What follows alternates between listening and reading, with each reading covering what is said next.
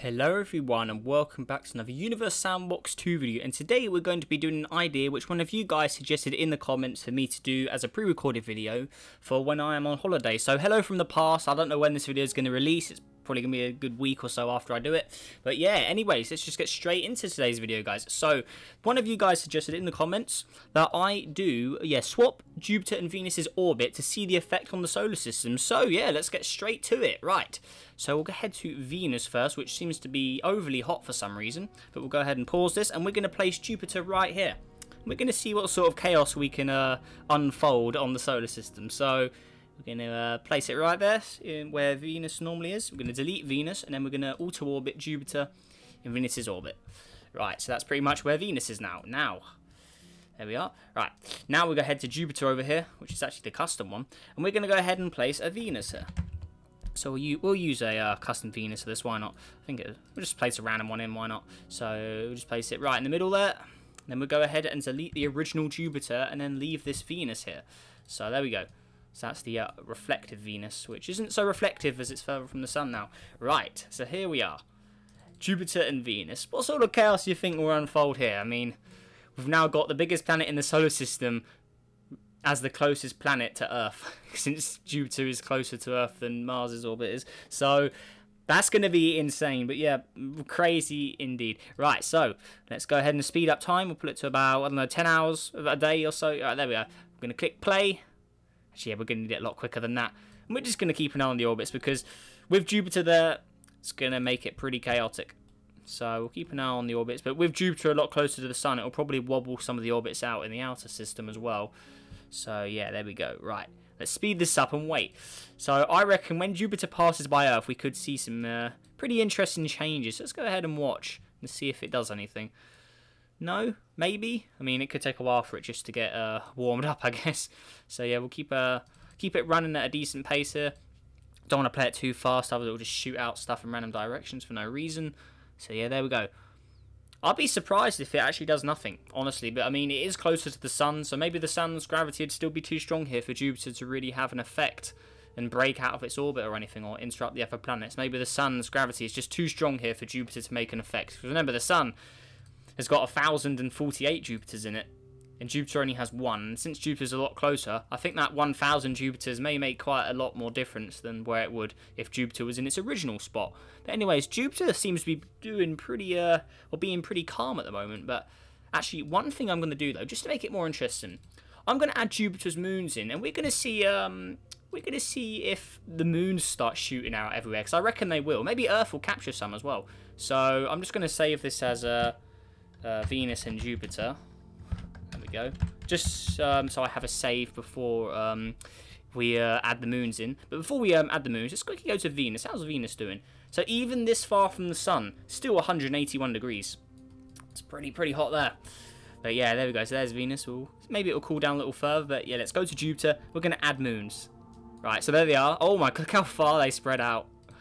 Yeah, Earth may actually capture some of these, but I reckon a lot of these are going to start orbiting the sun. So we're going to go ahead, slow it down, because it probably lag it a bit. Click play, and oh my.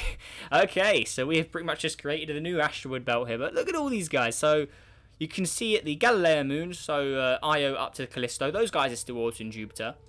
But all of the moons further out have just said, nope, we're leaving. And that's literally what they've done. Literally, now we've just got a ton of little asteroids orbiting in between Mercury and Earth. Some of them are just shooting out a lot further away as well. So, yeah, there we go. But we'll let this uh, speed up a bit. Let things get um, normalized. I guess it looks like Io is broken out for some reason. I'm guessing that's just because we are got so many objects in here. It's not simulating properly. Because uh, Io is closer to Jupiter. I don't think it would escape um, that easy now. So that's a little funny. But yeah, look at Earth. Look at all these asteroids. Maybe Earth will actually capture some. So let's see here. I mean, maybe. If some of these get close enough, it could actually capture them. I mean, I reckon it will. Maybe even Mercury could capture an asteroid or two um, in its travels around the sun here. I mean, it looks like it just had a close um, call with one of them there. Maybe some of them will even collide. It looks like Europa's escaped now. Though that, that isn't right. I don't think. Jupiter shouldn't have kicked those guys out. That's very strange. I don't see why they would get tossed out. So that's very, very weird. I'll leave them in here, though. Why not? Just to see if we get any craziness unfold. I mean, something's still orbiting Jupiter in there. So yeah, Callisto's still orbiting. It looks like Ganymede and all the other two have just gone. That is very weird. Actually, no, I will delete those because they shouldn't even be here. So let's go ahead and remove those. Ganymede, I have no clue where it even is, as there is a ton of stuff in here. Yeah, I've completely lost sight of Ganymede. No, no idea at all where it is. I can't even see it. So yeah, we just have to wait for that to show up. But yeah, now we can speed up a bit more and just watch this stuff unfolds now. I mean, that's quite a lot of stuff. I mean, some of this will probably shoot into the asteroid belt, but yeah, the inner solar system is just full of little rocks now from the remains of the Jupiter ring system. So yeah, there we are. How's, how's Earth doing? Just chilling there? Yeah, but overall, the orbits are pretty calm. I mean, nothing's really wobbling. Yeah, even out here, nothing's really wobbling that much. So, um, yeah, pretty good stuff. Mm, we could speed it a little quicker, but I think that I don't think that'd be a good idea because I think it'd just go nuts with the amount of stuff it's shooting at. You can already see it starting to give stuff more crazy orbits like that. Mercury's orbit's going a bit crazy as well because we're speeding it up too much, but yeah, even then the orbits out here look fine. So um, yeah, there we go. So the inner solar system is pretty much unaffected.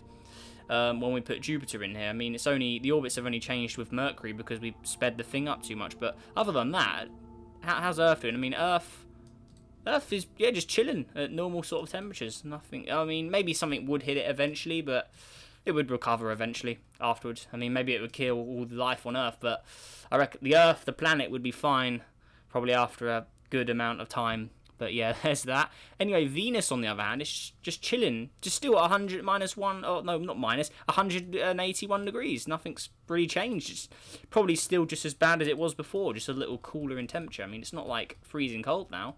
I don't know why the albedo's so low on it. That's not right. Hang on. Maybe maybe that is actually inaccurate. Because if we put an actual, the regular Venus in, for instance, we'll put it, that's pretty much in the right spot there.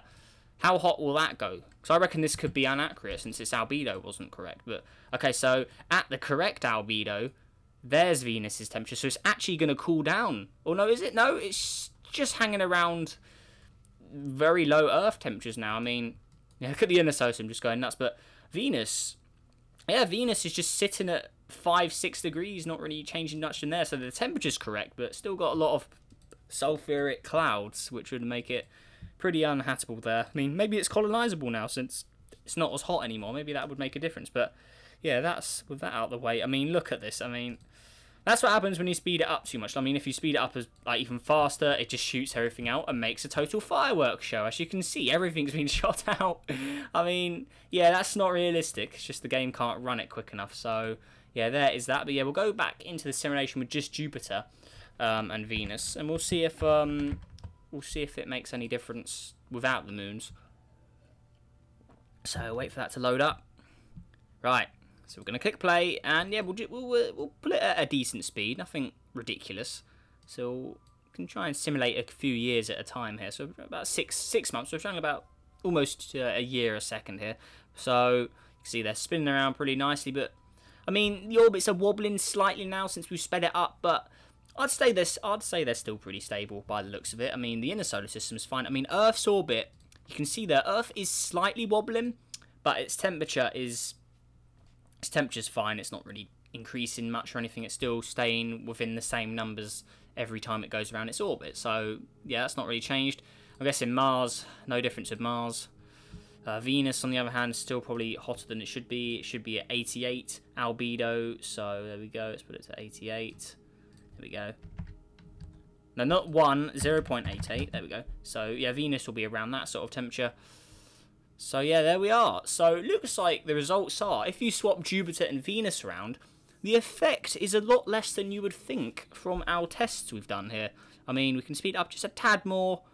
So travelling at 1.5 years now, yeah, it seems pretty stable. Nothing's really happening. I mean, some of the outer solar system objects were slightly wobbly, but the the main sort of seven planet, or main eight planets, sorry, they don't seem affected anyway. I mean, Mercury's comfortably sitting closer to the Sun than Jupiter. Earth, the closest planet to Jupiter, seems to be just fine. I mean, I reckon Jupiter's radiation would have other, uh, would say something else about that. But from just what Universe Sandbox is simulating, seems pretty fine. But yeah, you've got to remember, in reality, Jupiter has a very crazy magnetic field around it. And maybe that would hurt Earth when it gets closer. But as in Universe Sandbox, like I said, nothing's really happening. So yeah, pretty good. I mean, yeah, Venus as well, just chilling at minus one degree at the moment. It's not maybe really the same as what the normal Venus is, but yeah, Venus is a lot cooler, and maybe it would be colonizable at this distance with current temperatures. So yeah, there is that, guys. But yeah, that will do it for today's video. So if you enjoyed this video, make sure to hit that like button down below.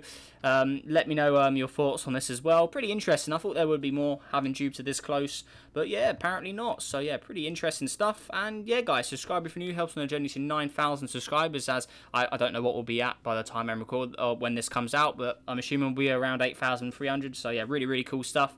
And yeah, massive thank you for everyone who's recently subscribed. But yeah, that is um, it for today, guys. So yeah, I will see you in the next video. Goodbye and have a great day.